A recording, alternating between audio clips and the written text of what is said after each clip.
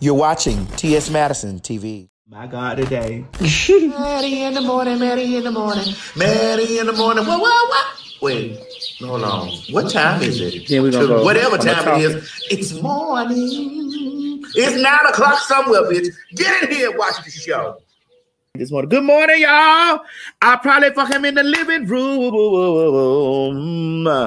while his children home. All right. So y'all, we got a real heavy show this morning. I don't know if y'all gonna like this show. You know, we we gonna be talking about the things of all the stuff. Uh, it's going to get a little deep, deeper than the pussy of a bitch, six feet. Morning, called- with this, this morning show, me and Craig was talking about this. It's called Fighting in the House. Fighting in the motherfucking house. Go ahead on and start out. The other day, I made a post on social media, and Craig and I, Craig and I both were talking heavily about this, and it kind of spread out, and like the people got kind of hot with the dog. The- y'all, I don't know what it is about y'all getting mad with me for certain situations and stuff like that, but you know, you just got to scratch your ass and get glad because I'm gonna have my opinion. Roll my opinion over here, Mo. Let me see what my opinion said. My opinion said, please, please miss me with those dumb fucking excuses, lines that he ain't know, or they be tricking men when you try to blankly find justification in the murders of trans women. Men been using those lies to protect that quote unquote man capital hood shit for years. Wake up! They fuck us too. Wake up, bitch. They fuck us too. And um I want to piggyback off that a little bit. And then I'm gonna bring Craig on because Craig and I were talking talking and um he made some valid points when we were talking about um talking about some stuff. So I want you to post this next thing, which was on my girl Tokyo uh, Vanity's page that I took, and I because because this kind of runs right in right into what I was talking about. Put put, this thing up there because we're gonna we're gonna we're gonna merge these things together. That one right there. Run that over there. So Tokyo posted on her page as well because y'all gonna see how I'm gonna tie this shit in together. Y'all know I'm a good weaver, like a shadow weaver. She said, So I got this friend who been with his girl for five years, and recently, over the last three months, he just started fucking her mama. Now the mom is blackmailing him because he don't want to smash no more, and he asking me, What should he do?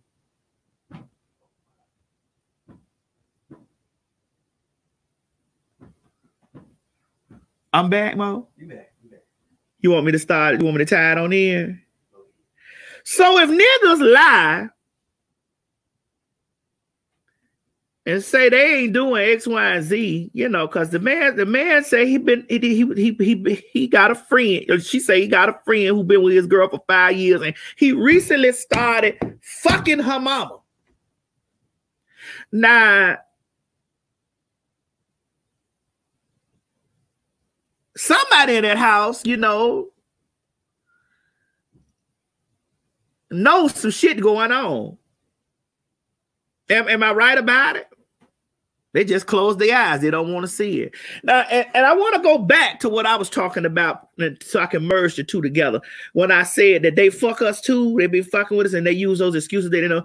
Now, what I don't get with people's, because it ain't just women's, it's men's and things too. But we gonna talk, we talk to the ladies because I got a lot of ladies follow. You quick to believe everything he ain't, he ain't, he won't do that. He won't, I mean, he'll do this and he'll do that. But when he said he won't do that, that he didn't know y'all believe that first. Bring Craig on. Let me, let me, let me see how me and Craig tow that shit up. Yes, Craig. Craig, yes. Yes, Craig. Craig, yes. Spin it round, Craig. So you know we talking this morning because we were talking about this the other day. Yes, Craig. No, no, like Craig. I don't know. I know where your finger just been. Don't please don't stick your finger.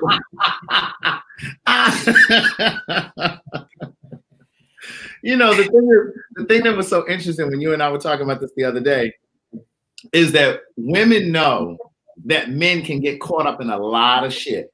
A lot of dirty shit. A lot women, of dirty shit. Yes, and women know that men lie. Women know that men are scandalous, and this isn't all men, but it's when, a lot of of motherfuckers. But come on. Right. But when men get involved with trans women and it comes out, women don't want to believe that that man was with a trans woman, or they don't want to believe that he knew he it had that to be. Knew. They don't want to believe that he knew, or they don't want to believe that that's something he he sought out after. They don't they, they don't want to believe. You don't want to believe none of that. You can believe all that other stuff. You can believe all that other shit. You listen, listen, listen. That man can come to you and tell you all that other shit, and, and you and you don't, you know, you you don't believe him. You don't. I don't believe. You know what I'm saying? Here, I, I, I, oh, I mean, I just don't. I mean, he ain't that kind of. I mean, he. I believe he was fucking my mama. He was, but I believe it. But now he ain't do that. uh-uh, he wasn't fucking that part. Uh-uh, he don't. He uh-uh. don't do that. Oh hell no, hell no, not mine. And he ain't that kind of guy. I mean, he, he ain't that kind of guy. Nah, I just wanted you to hear the. I could see I put that because I want. I'm put my glasses back on. You know, I had my eye surgery yesterday. I mm-hmm. wanted you to hear how treacherous. Mm-hmm. The post from Tokyo Vendor. Put the post. Don't even move, Craig. Put the post next to me. This how treacherous. Mm-hmm treacherous, treacherous, Craig. Mm-hmm. So I got this friend who been with his girl for five years. And recently, over the last three months, he just started fucking her mama.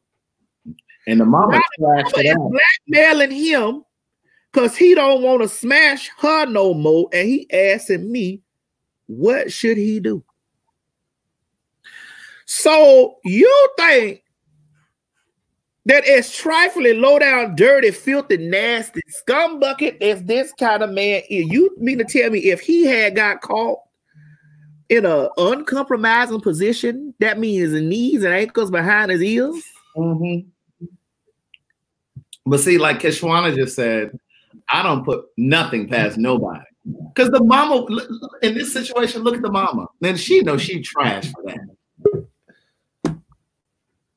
That's like Miss Mary fucking somebody that you. Right. Miss Mary can't even get her legs. Like Miss Mary, Miss Mary have a hard time in there getting the bathroom to my open her legs. That's like Gladys talking about, yeah, I'm gonna start talking to that young man that you would. Wait, girl, what? Now how you gonna do that? To the screen. Hey ho! Yeah. Niggas be fucking, niggas be fucking. Um, ciao. Hope they said it's a lie. How the statistics are there, the numbers are there. Do the do you have any? Of, do you have any of the statistics? It is all there. So let me, cause let me pull it up so people don't feel like a bitch be lying. I just had to get people together. In 2020, we've already seen 15 transgender and gender nonconforming people died. That is killed. That's just 15. The numbers have staggered every single year. So since 2015, we've seen an increased amount of transgender women, most of them being black transgender women, mm-hmm. being killed. Now, out of that number, 98% of the black women that were killed were killed by a black man. The rest of them either have not been confirmed or people didn't do the investigation to actually give enough of a fuck about who killed them. And I think that to me, it's really crazy how black cisgender women, like Craig said, will go to bat for black men and be knowing he be lying. They will know he be lying. They will know because, and I, the reason I know that some of y'all be on that bullshit is because y'all sit up with us. Y'all sit up and y'all keep keep with us about what the trade is, who the trade is, what y'all think and what y'all don't think. But then when we publicize it and we say this is what they need to stop doing, this is what's happening, y'all be like, uh-uh, y'all just want everybody to be gay. Y'all just want everybody, but that's not true. Nobody is forcing these niggas to do nothing. This is not the 1960s. Nobody has to trick anybody. Nobody has to be or pretend to be put. Nobody has to play pussy stunts no more. It's, it's not niggas know exactly what the fuck they be getting into. They know exactly what they want. And what's even funnier to me is that most of the girls, and I hate to say this, but follow me, y'all. Follow me, especially community folk. I want y'all to follow me. Most of the young ladies that have been murdered and killed aren't the most passable women.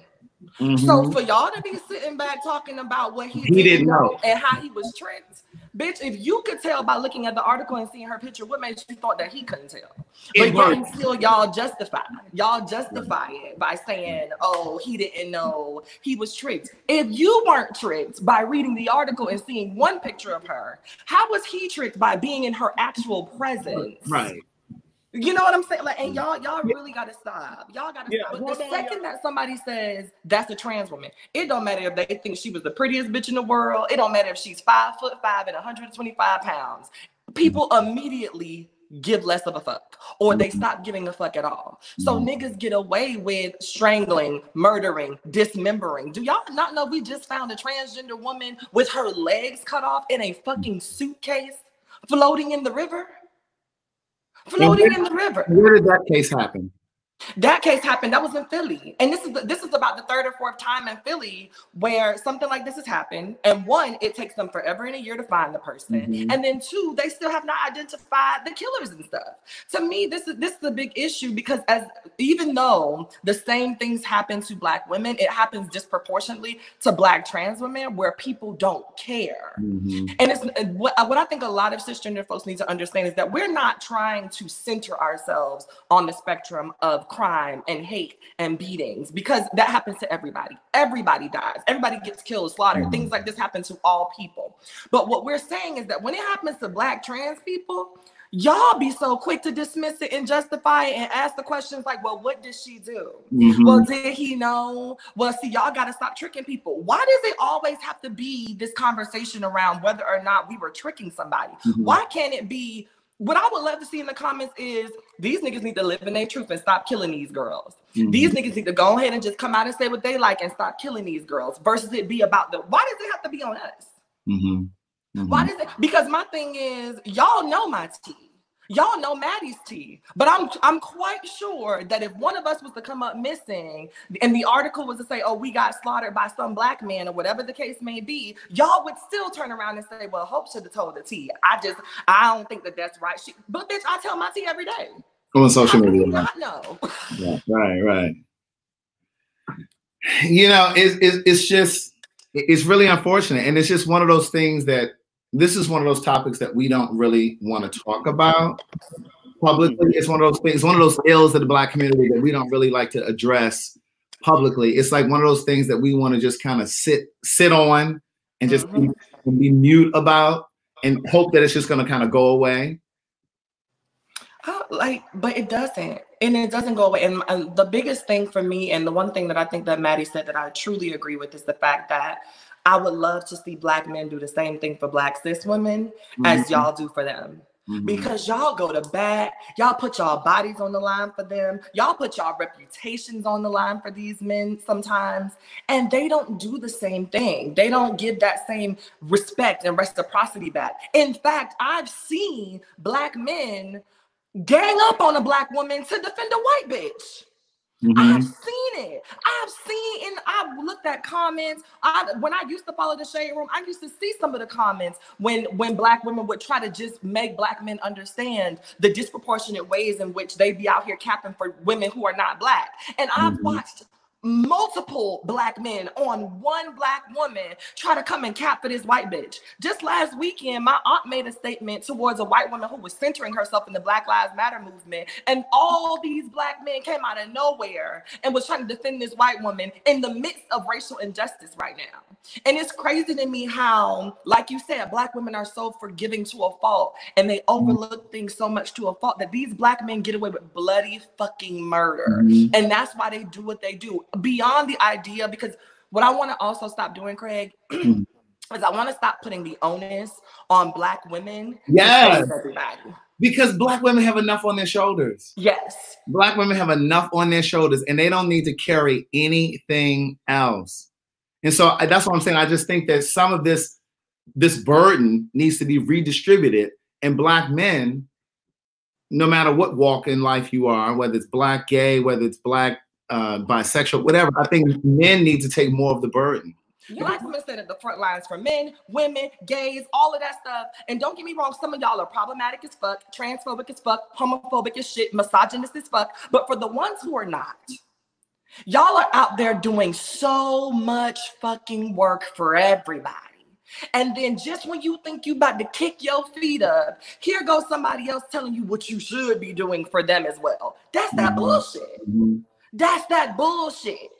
And we, we, you know, we, we have to stop, uh, we have to stop putting it on black women, you know, to make sure that black trans women are safe and put it on black page explaining to someone why it was important to center black trans lives in this moment. And I just wanted to come in here and like double down on what it is that India is sharing because um, it's it's literally the same thing that I was saying about the the video with Haley and talking to her parents, which is like again, the question isn't about asking whether or not, you know, like why black trans people need to elevate their you know, visibility in the world. The question is about why you haven't been.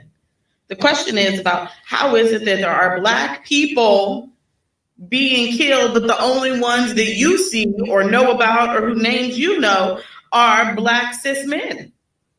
How is it that you are still posting videos talking about I'm afraid for my son? Like we are still out here waiting for Breonna Taylor's um the officers who murdered her to be arrested. Come on, y'all, we got to do better. And this is why this is why I talk about if you don't do if you don't ask about your own indoctrination into these systems, you will be out here doing the same shit white supremacist delusion is doing.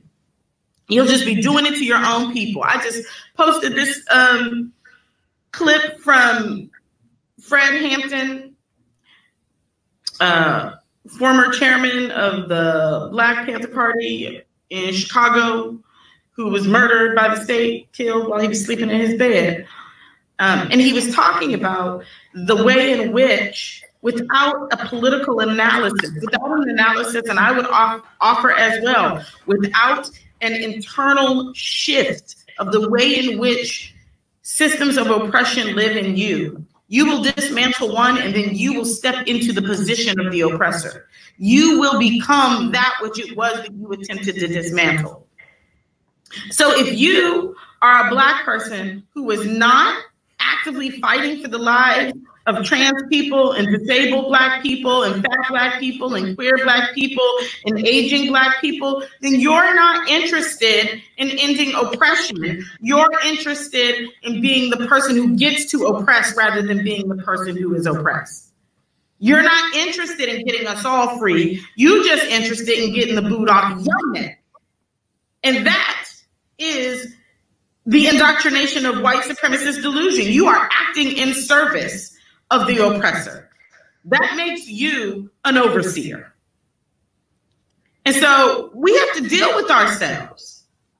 We have to deal with the ways in which these systems of hierarchy, because that's all it is, is that in a system that has told you that white men are the most important thing in the world, and that everybody else, that blackness is the least important thing in the world, and that everybody else better figure out how to scramble on the ladder even within that, we've decided, well, we can further, we still have to be the bottom of the rung.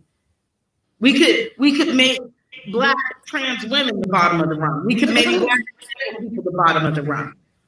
And so even still invested in this system of hierarchy within our own spaces.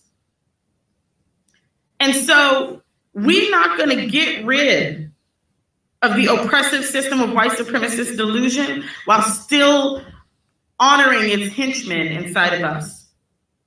because the systems of ableism and ciscentrism and homophobia and transphobia and fatphobia, they are the henchmen of white supremacist delusion. They are the agents of destruction that they send out to make sure that everybody else still gets wrestled together. They're the systems that white misuses to um, segregate within whiteness. It's how, because again, it's a system of hierarchy. So all white people ain't at the top. They create, again, these other areas of oppression so that there is still less and less and less people who are viable for the position of the top rung. We have to destroy the ladder. You have to destroy the ladder inside you. The ladder that has you believe that there is any way in which your being is only valuable based on the degradation erasure, and violence against some other being's body. The idea that some being is less than you. It, we will never dismantle white supremacy and still hold on to transphobia. Let me say this again you will never dismantle white supremacy and still hold on to transphobia. Not possible. You won't dismantle white supremacy and hold on to fat phobia or ableism or ageism or homophobia. They all must go. And if we don't get on that train real fast, we're gonna we're gonna find ourselves in this exact same struggle again and again and again and again and again. History will repeat itself. If we don't all get free, ain't none of us free. So you better figure out how to, if you really care about whether or not they stop killing black men, then you're going to have to care about whether or not they stop killing trans women.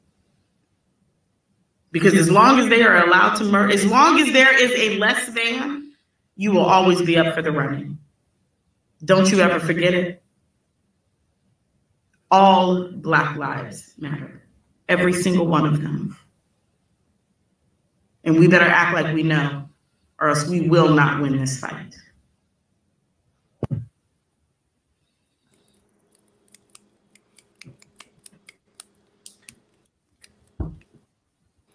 My good sis, Miss Sonya Renee Taylor. Yes, my good sis. And for some of you all in the comments, I want to show you just how transphobic and I want to show you just how you base things off of what you think classic femininity is because I saw some of y'all who assumed that she was a trans woman. She's not. She's cisgender and has been doing this work for the last 20 years. So for some of you all who thought that Maddie put that video up there because she was a well-spoken black trans woman and she was trying to make a point, no, that's a cisgender ally who understands that until all of us are free, then none of us are free. So, one, check your idea of what femininity looks like. Mm-hmm. And then, two, educate yourself. Because as long as you seek to be the oppressor, you'll never get exactly what you're looking for. Because white people ain't gonna give that up easily. And especially not to people who don't need, who can't even, y'all can't even come together some days to pick whether y'all want to eat at Wendy's or Burger King. And y'all really think y'all are gonna throw an oppressor that's been oppressing us for 400 years and then some? Baby, when I tell you I was so captivated captivated by her video, like I found it and I was so captivated by it because she was she was so she she was so she eloquently put it together in a way yes. that even if you are if even yes. if you don't understand the big the, the large words that she was using, you understood yes. the large message that she was giving. And I just was like, why can't people, you know, understand it? And then I see there are people in my comment section saying, "Oh my God, I missed when it when the show was funny." Like we still tell jokes and it's funny here, but we're in perilous times right now. And it would be irresponsible to not have some of these heavy conversations. Like you know, you you you don't want me talking about this stuff, but this stuff affects me. Like there were bills just put in into the healthcare situations about about trans people. You don't think that the first trans people that gonna go after is the black ones? Yep. The black ones first, girl. If you just enjoyed watching this video, don't forget to subscribe to my YouTube channel. Or if you're already here, click that bell up there, up there, one of them, and subscribe so that you don't miss this or any other excellent content that I have for you. Don't meet me here, beat me here. Ciao.